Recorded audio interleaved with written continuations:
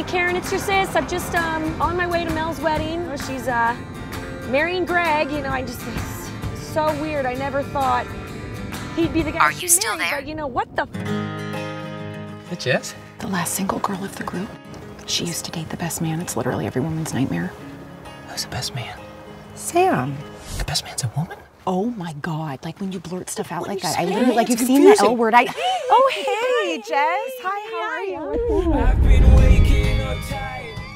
Oh my gosh! You know, it took me forever to find a place that was like truly off the grid. It's just like so we can unplug. Wait, so there's no. Excuse me! I need you to restart your router. Have you said hi to Greg yet? Hey, Greg. Jessica, what's up? Yeah, that'll do. Sure. What happened between you and Sam is your business. Just be yourself. Oh God, Sam.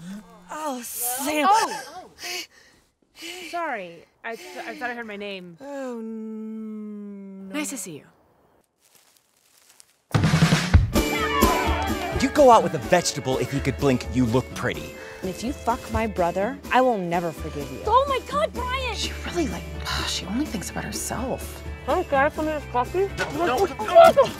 Damn it, Jessica! Why did you destroy everything? It's like first she has her engagement party without me. You were out of town. I know it. They couldn't move. Burning Man, you know. What? Wendy, you look the same. You know, we were in a consensual oh. relationship. You know what? It's done. It's over. And I, I was just trying to get you to talk to me. I don't want to talk to you.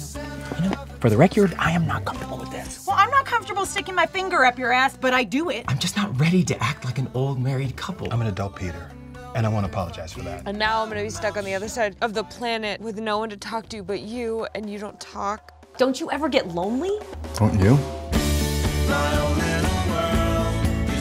We don't share one heart and one mind.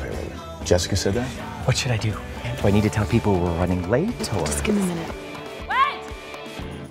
Don't start without me! Oh no.